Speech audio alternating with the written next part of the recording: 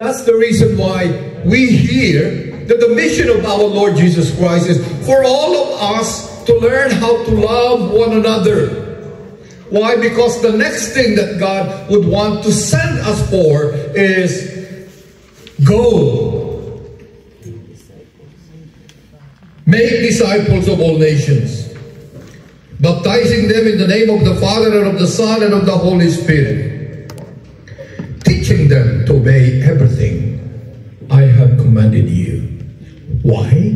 Because this is really the way for all of us to become spiritually significant in our world today.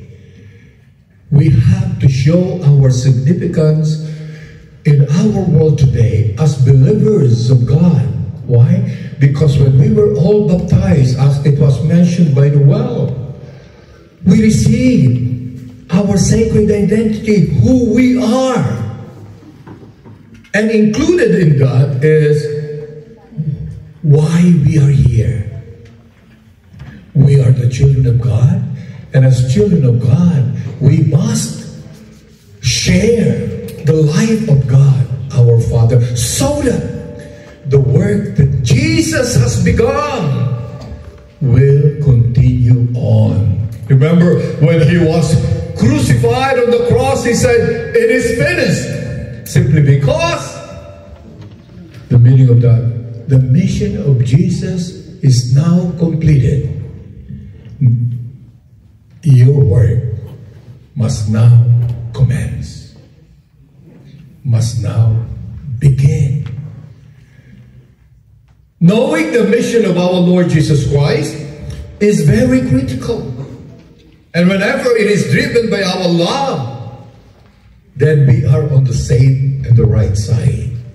That is the mission of Jesus that we are trying to live. Now, aligning our personal mission with the mission of Jesus is the spirituality that we all need to look into because at times we really, we really cannot figure out how we come into this situation unless we gave ourselves a times, at times to ponder and think, how, what did God do to my life? And that is something that I would like all of you really to to understand in the second presentation. I will be talking about something that what is passionate in your life? That second aspect of Jesus' mission is more directional, intentional. Yes, it must be driven by our love for God and our love for one another. But it has to be something that may be with sense of intentionality that we are making, helping one another to become disciples of Jesus, partners in the mission of Jesus. Because this is who we are, because the mission that God entrusted to us is His work that He has begun, we will continue. And that is the work of all of us right now. And aligning our personal life right now is very important and understanding what is your personal mission right now. If I have to ask you that, do you know? And how did you come to find it out? So uh, these are just suggestions. Question your life. What drives your life?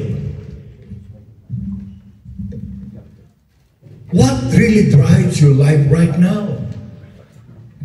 Or what ignites a fire within your soul that enables you to do more things, that led you to reach out to other people. For instance, Noel shared to us, how did he come to that point in his life that now he's now willing to go anywhere where he is sent? How did it connect with what he wants and what God wants. Is it the desire to make a positive impact on the world? What is your passion? Is it the longing to serve others with love and compassion? Whatever it may be, know that your purpose is intricately connected to the mission of Jesus. And this is what I've learned. Whatever is my passion is, that is my mission. Ask yourself, what are you passionate about? And you can answer this without somebody telling you about it. You can answer this really going back to yourself. And you will come to know that knowing what you are passionate about is the purpose of your life. And aligning your life purpose with the mission of Jesus, first of all, these are the takeaways that I would want you to, to think. It requires a deeper inner journey. You have to ponder and reflect this on your own. Nobody can tell you that. Speak to your heart. Ponder on how you are able to come to this point of your life right now. I can, I have no idea that I'll be here in this America, in this country. I have no plan that I will be speaking to the people here in America. It involves introspection, prayer, surrendering to a higher calling. Aligning our purpose with the mission of Jesus would require bending over. And it means letting go of selfish desires, the ego-driven ambitions in favor of a greater good. That is easily said than done. Mahirap po yan. I-bend over. Sa salita lang yan, napakadaling sabihin. But it requires real awakening. It requires a real understanding, a deep inner conversation with God. It means embodying qualities of kindness, forgiveness, empathy in all aspects of your life. Wow. Just a simple example. The mission of Jesus for all of us is to forgive one another, correct? As the Father, as Jesus has forgiven us, so we must also forgive one another, correct? Are we doing that? By doing that, we're aligning our sacred purpose with the mission of Jesus. That's how it happens. Surrendering our hurts, surrendering our fears. Secondly, we align our, our lives with the mission of Jesus, and it would require truly cultivating a heart of service. That we must be willing to serve. And I know many of you, I have witnessed many of you have that heart. You have the heart of service. And that's the reason why Filipino ministry in Archdiocese of Baltimore is really growing. Because we have the heart of serving others in different ways. In different ways. We have a big heart for others. And when our heart for others is being exercised and driven by our love for God, I tell you, it becomes powerful. It becomes so powerful and it transforms not only yourself, it transforms people. It transforms environment, our environment, our surrounding. It transforms community. And that's, I believe, what the Filipino ministry is looking for, that we may have all the heart to serve one another so that it can transform not only ourselves, but the lives of others and the community where we are sent. So look around and you will see there is a need. Whether it's volunteering at a local shelter, lending a listening ear to a friend in need, or simply offering a smile to a stranger. Every act of kindness is a step towards fulfilling the mission of Jesus. Aligning your life purpose with the mission of Jesus requires living with intentionality and integrity. So let your words and actions reflect the values of love. Love one another. As the Father has loved me, so I love you. Love one another.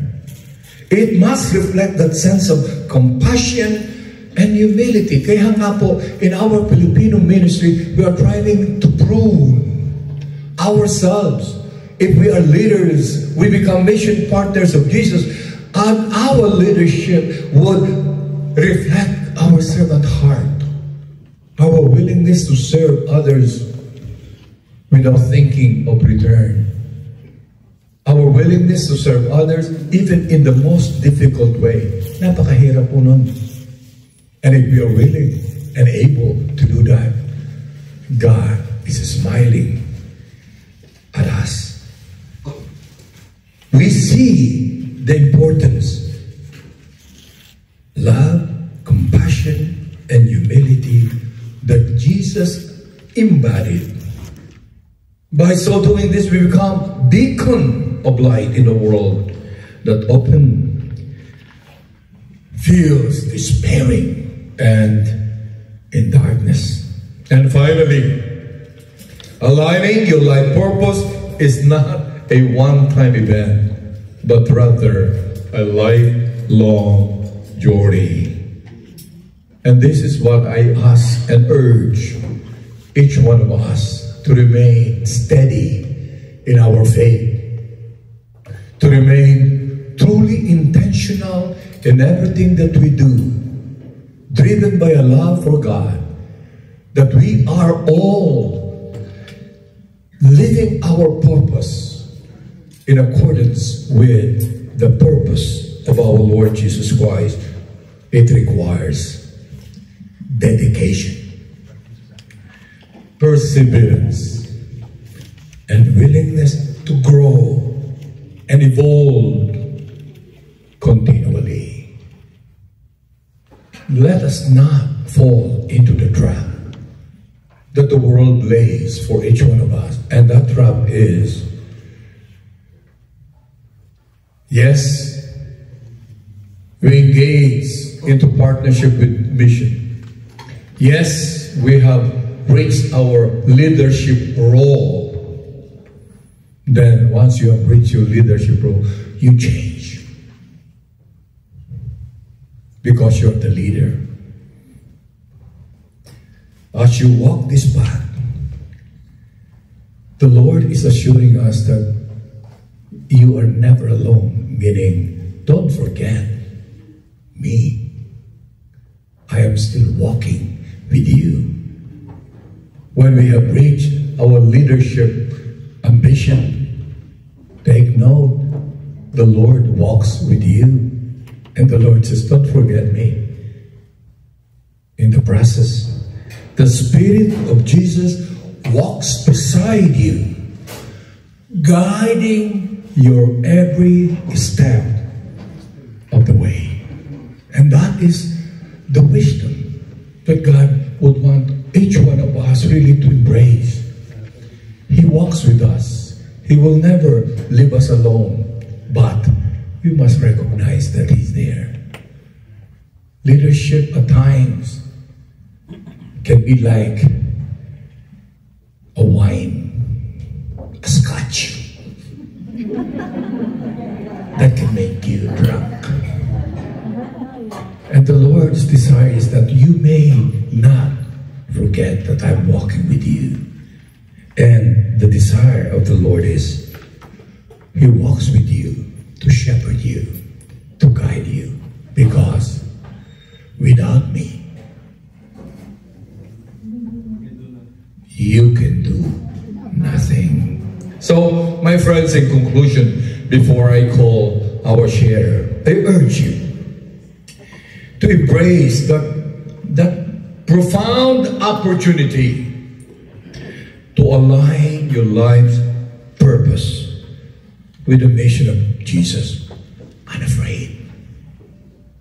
We trust.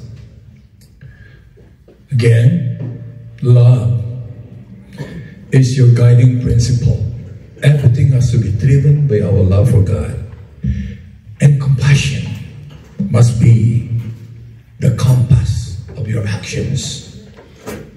And service should be the true north, the principle that you are always going to take. In doing so, you will not only discover a deeper sense of purpose and fulfillment, but also contribute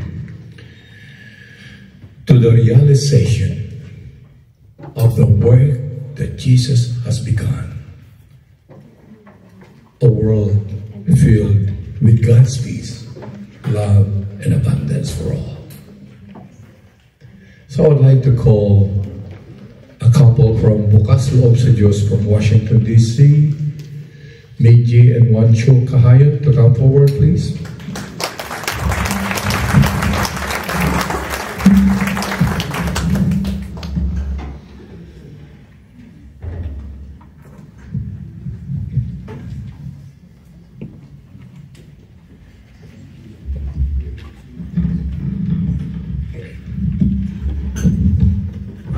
Thank you, Father Pete.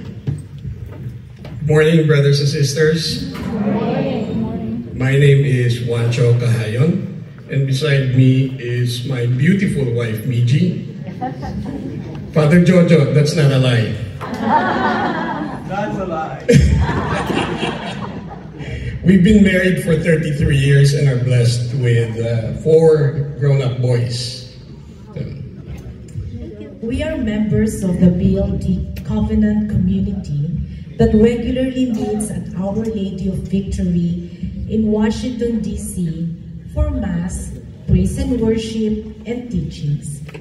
BLD stands for Bukas Loob sa Diyos, or Open to the Spirit of God.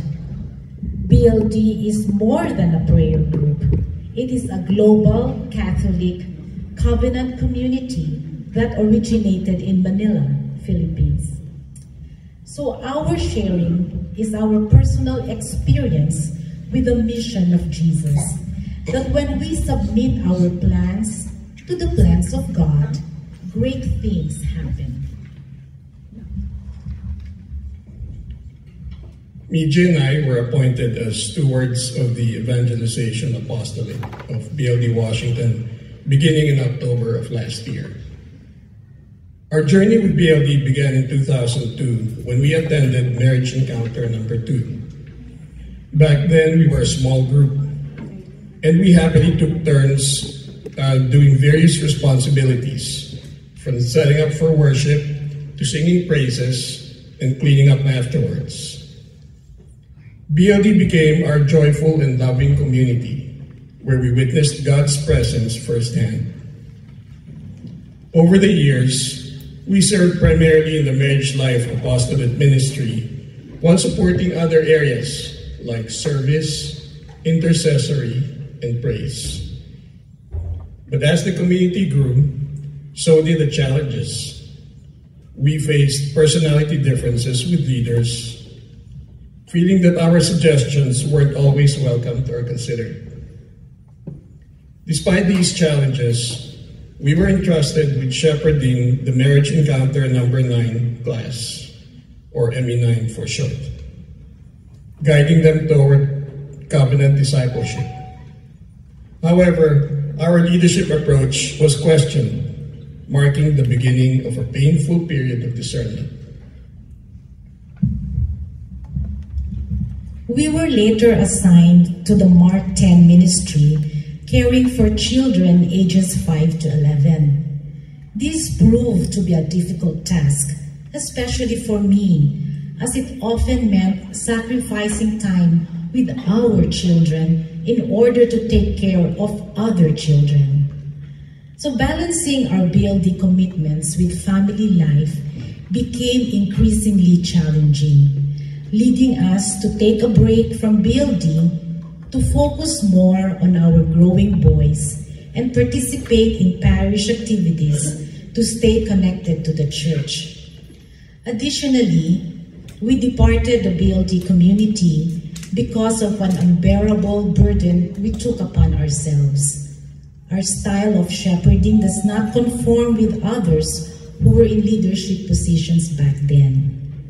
Ultimately, we felt compelled to take a sabbatical leave when we sensed or we perceived a shift in its direction, one that seemed disconnected from the guiding influence of God's Spirit and the mission of Jesus. As our children grew up and began living their own lives, we were ready for the next chapter in our walk with the Lord we prayed and sought guidance from our spiritual director and a few trusted friends. I'm not naming names because they're all here. should we return to the community we have believed in, or should we do something else? The pandemic brought a shift in perspective, particularly after the loss of my cousin to COVID. Recognizing the brevity of life, I immersed myself in daily mass, virtual retreats, and Ignatian reflections to discern God's will for me. During occasional participation in the Friday praise and worship, I noticed Miji's excitement and her hunger for a spirit-led praise and worship. But I wanted to get a confirmation from the Lord before committing fully. In 2021, during one of our virtual prayers, I joked with our ME9 friends about returning to BLD. But I said what, what I thought was a highly improbable condition. See, BLD has five apostolates, and they're each led by a steward couple. And so this was, that was the first year that ME9 was eligible to become leaders. And so what I told them was, if at least two couples were emerged as leaders, we will rejoin the community. So the emergence came later, and one couple made it. So I accepted it as a sign for us to wait. Unexpectedly, a health issue led to a leader stepping down a few months later, prompting the BLD Global Servant leaders to discern an additional couple as a replacement. And among 21 classes, it was remarkable that a couple from ME9 was selected, the same class we had shepherded for several years. Now there were two ME9 couples in leadership. This providential occurrence affirmed our path back to BLD. We felt compelled to honor our promise to our ME9 class but we were anxious of how we would be treated after more than eight years of inactivity. Would the community question us on why we were back? Or would they welcome us? Seeking confirmation, I reflected on Jesus' example of unconditional love. The tension between God's plan and my plan was very strong just as Jesus served us out of love, irrespective of our worthiness, I recognize my call to serve each community member with the same spirit of love. We were warmly welcomed back by the new leaders. Although we wanted to quietly rejoin the community as regular members, the leaders asked us to take a new role, like becoming worship leaders, leading the service ministry, and supporting the Life in the Spirit seminar. Humbled by this new perspective, a testament to God's plan, we rediscovered joy in serving the community. The journey taught us the true meaning of trusting the leading of the Spirit, servanthood, and importance of community in our spiritual growth. I can do all things through Christ who strengthens me. Philippians 4 verse 13. When we align our plans to the plan and mission of God, beautiful things start to happen. We can do things right and do right things. I used to pride myself on being in full control of my life, meticulously analyzing every detail to solve my problems. But through my journey of faith, I've learned the importance of surrendering to Christ and trusting in His wisdom and providence. By seeking first the kingdom of God and His righteousness, I strive to emulate Jesus' commitment to communion with God and obedience to His will. And when it comes to giving, I used to limit my generosity to the confines of my tithes on Sundays. However, inspired by Jesus' compassion, I now go extra mile by feeding the hungry at homeless shelters, donating to marginalized communities, and extending my generosity beyond my surplus. Additionally, and this is quite hard, I've learned the power of forgiveness through Jesus' teaching. Despite being wronged by others, I have chosen to forgive, releasing bitterness and resentment. By extending grace and reconciliation, I mirror Jesus' example of forgiveness on the cross and embody the principles of love and reconciliation taught in the scriptures. We have experienced a profound shift in our perspective on serving others Instead of seeking recognition, we find fulfillment in selflessly serving others, prioritizing their needs above our own. The shift aligns with Jesus' call to servant leadership and sacrificial love, exemplified when he humbly washed the feet of his disciples. Lastly, one of the greatest blessings we received is the ability to love those who have hurt us. Inspired by Jesus' radical ethic of love, we responded to conflict with love, even towards those who we have disagreements with. By turning the other cheek and seeking reconciliation rather than retaliation, we embody Jesus' command to love one another as he has loved us. Doing what is right, good, and fair has become my initial reaction to things that are contrary to my plan.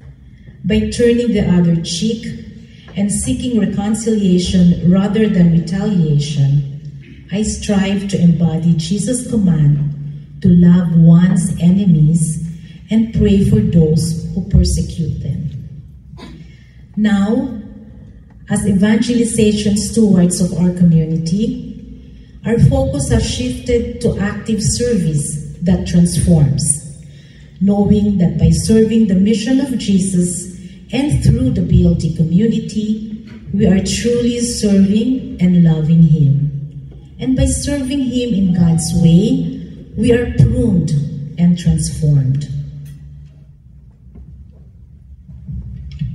Now we have been blessed to look at all things in the light of our love for God and God's love for us. Now we believe that in all things we can love and serve the Lord. Now we believe that aligning our plans with the plans and mission of Jesus, would bring beautiful things into our human and spiritual lives. This I pray. Thank you, Lord, for the opportunities you have given me and I to serve and minister to others, be your hands and feet in the world. Thank you for the moments when we felt your presence near, comforting us in times of trial and rejoicing us with us in moments of joy. Lord, as we continue this journey of faith and service, we pray for your continued guidance and direction. Help us always to align our actions and decisions with your teachings and examples so that we may reflect your love, compassion, and righteousness in all that we do, all for your greater glory. We ask this to Jesus Christ our Lord. Amen. Amen.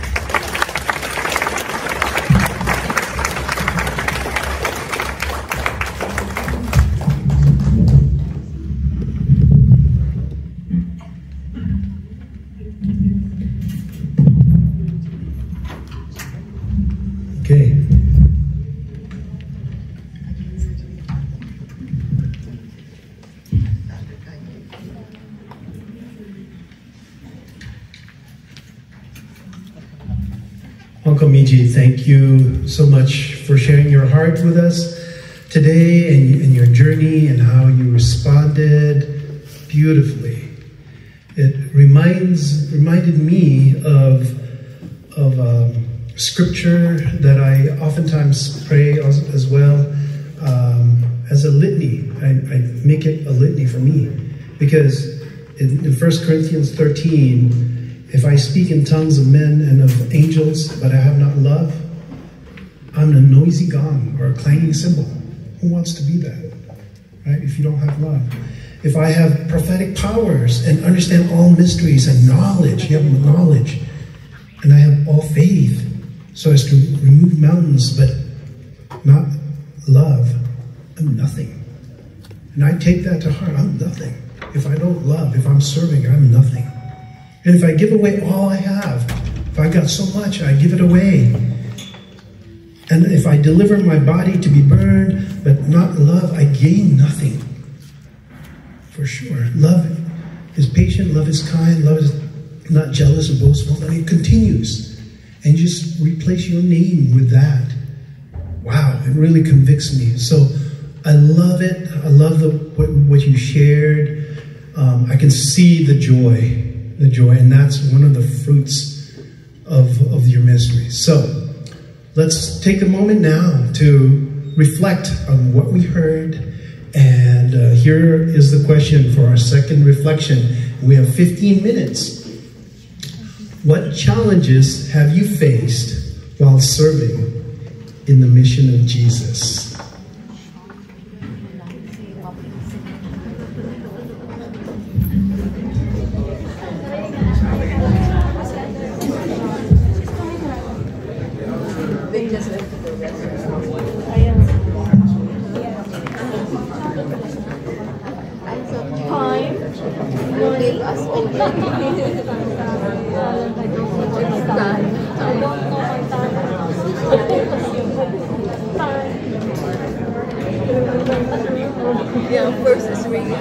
sometimes you encounter conflicts with your family because uh, what you're what you're doing.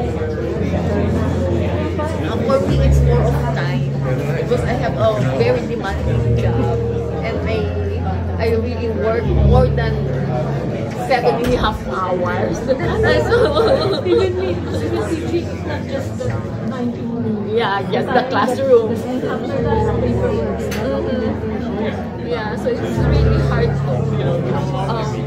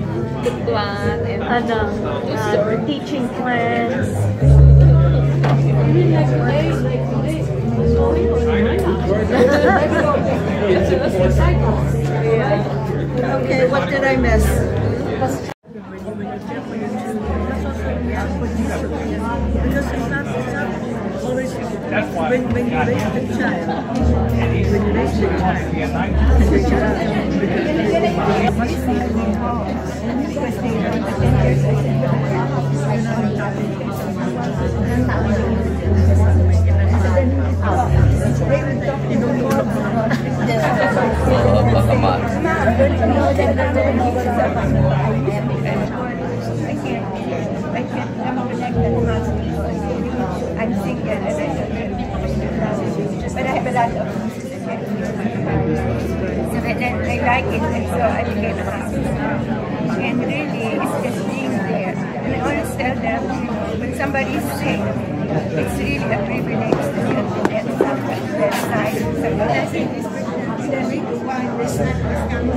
that's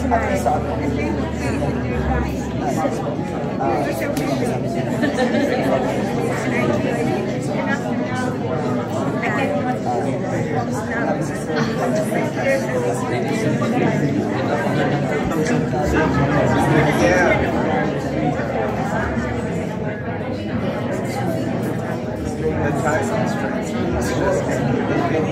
live in Bel Air, and a lot of what I do is with my parents and that's where I used to live. And I tried to the church up there, get an apartment. And I realized that was my friends down there. I've been friends for 40 years. Yeah, yeah, yeah.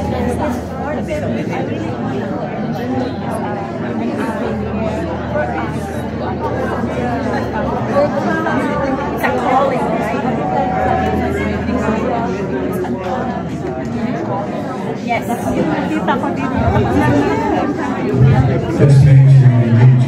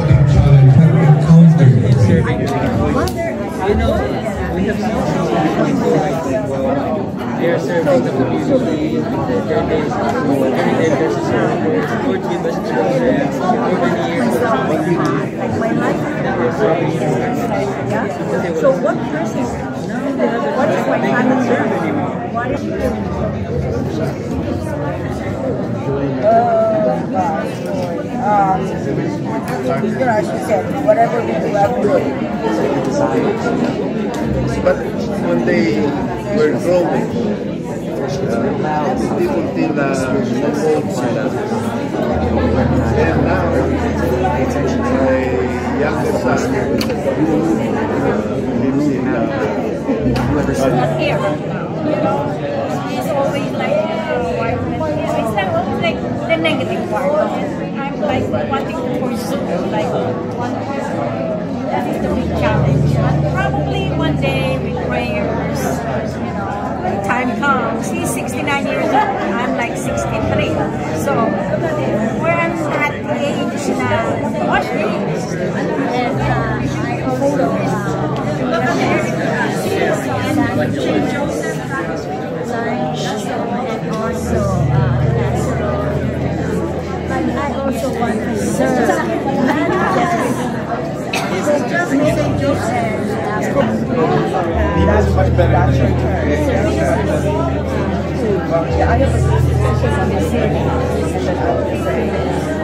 Your, your turn. It is hard to fight this